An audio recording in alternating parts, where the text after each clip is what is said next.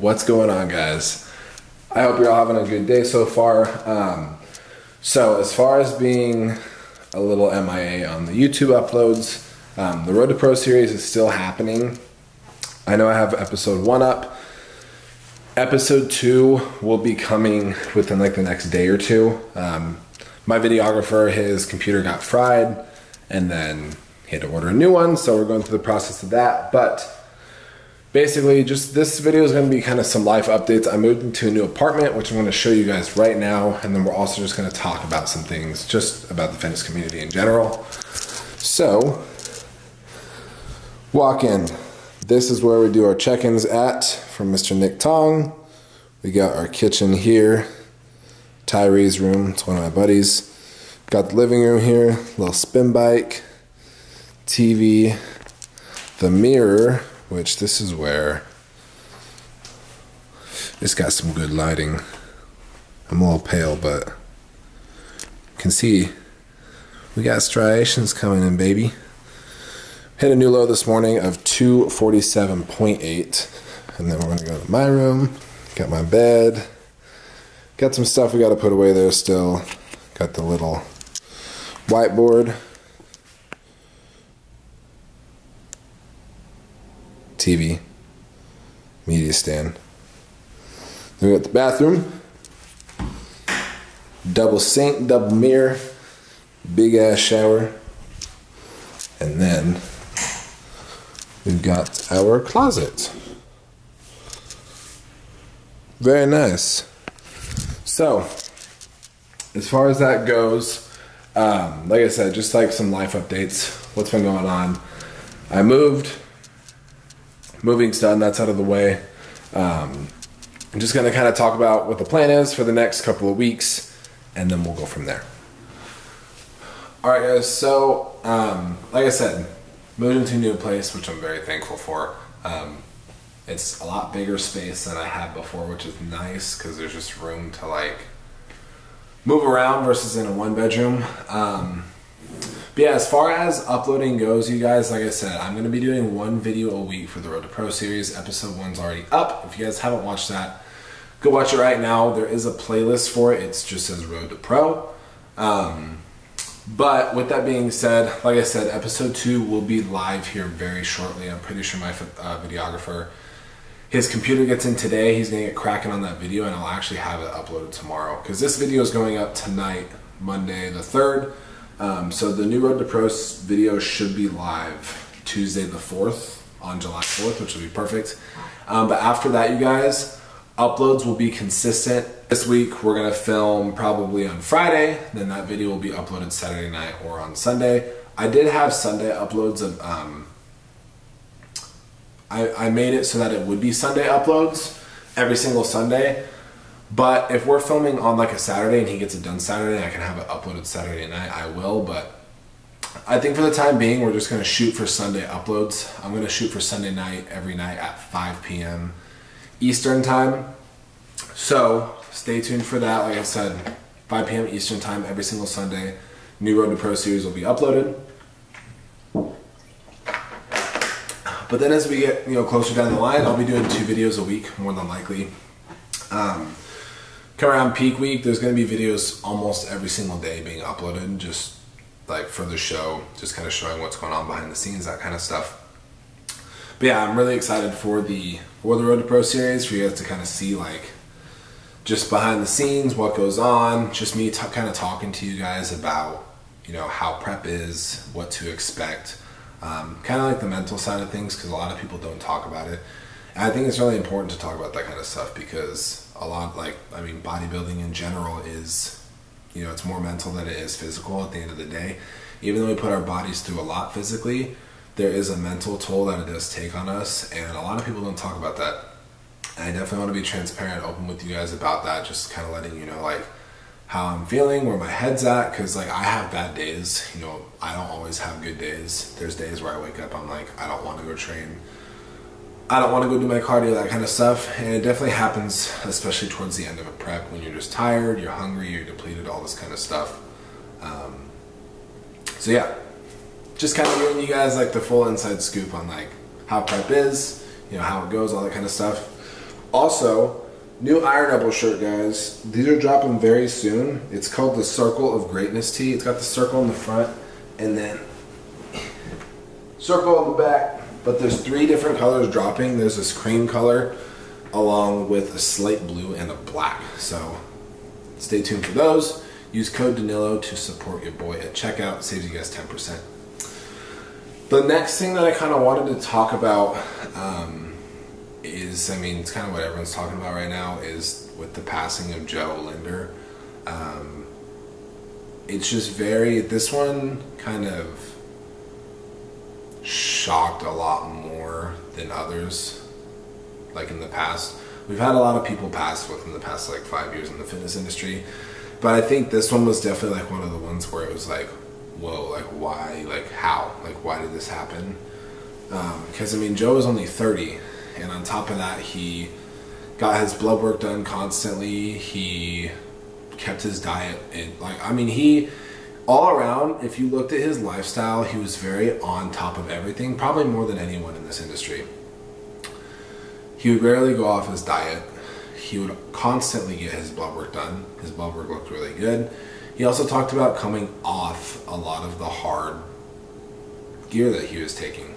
Um, you know, a while back he tried to come off completely, but his levels couldn't really return back to normal, his testosterone, so he went on TRT, which at the end of the day, TRT really isn't bad, especially if you're staying up on your blood work, you're donating blood, you're keeping your dose low.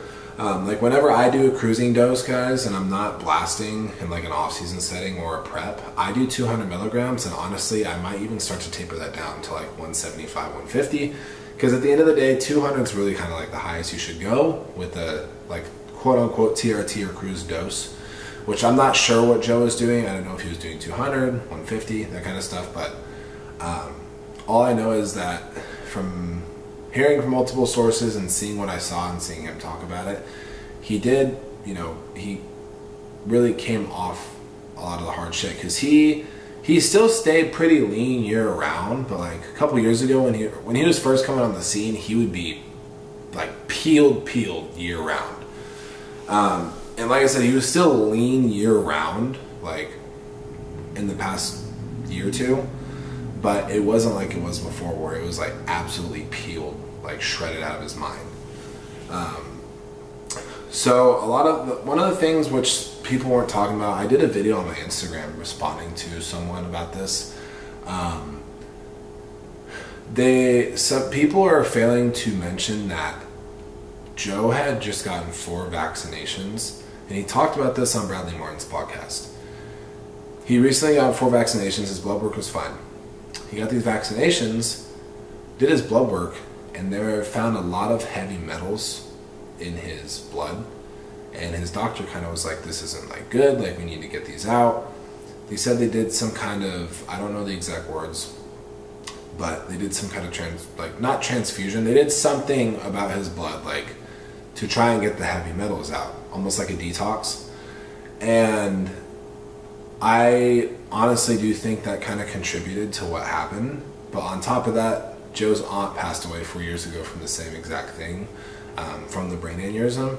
And the thing is, you guys, with the blood clot, this can happen to anyone. And this is why it really pisses me off. And it, it, it it's not that it pisses me off. It just makes me like very like.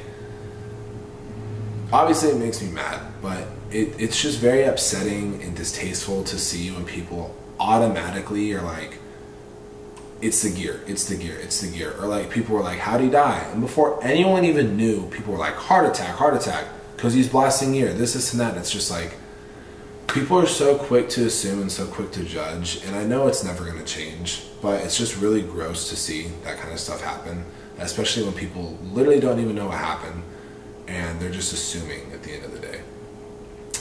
But I'm just here to say that, like I said, blood clots can really happen to anyone at any given time that's why it's kind of like a silent killer because you really don't know if you have one unless you get some kind of scan done and they catch it early and they're like, hey, like it looks like you have a blood clot here. We're gonna try and break it up and get it out.